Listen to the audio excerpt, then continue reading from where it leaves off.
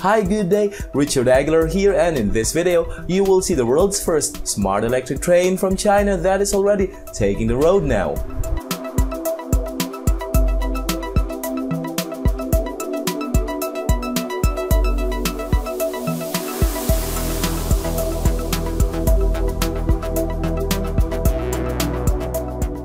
So, without further delay, let's get it on! This is the world's first ever created smart electric train from China that is capable of running on a virtual track.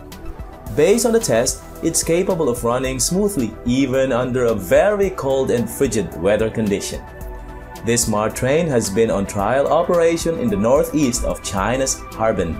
Actually, the virtual train from China was first launched last year of May. It was the green colored one that was tested last year. This new smart train is actually a 3-in-1 vehicle. It's a train, bus, and tram at the same time.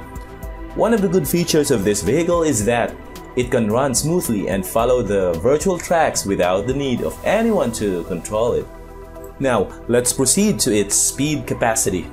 You know, this train can run with a speed of 70 km per hour and is capable of carrying up to 300 passengers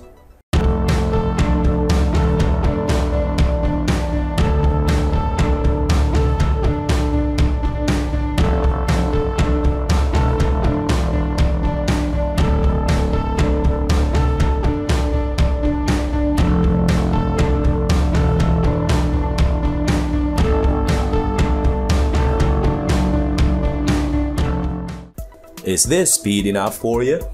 Well, if not, then you better ride onto some high-capacity metro trains.